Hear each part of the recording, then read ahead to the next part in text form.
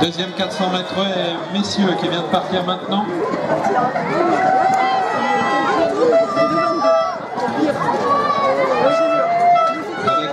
Rapide du côté de Denga Luvumbu de l'île Métropole.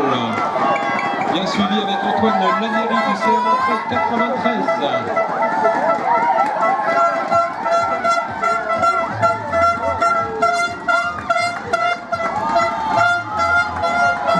Antoine Lanieri, c'est un autre 93.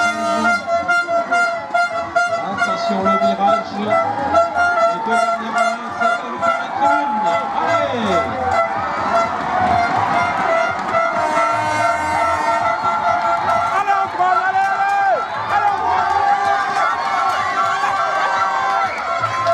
Antoine c'est un Montreuil 93.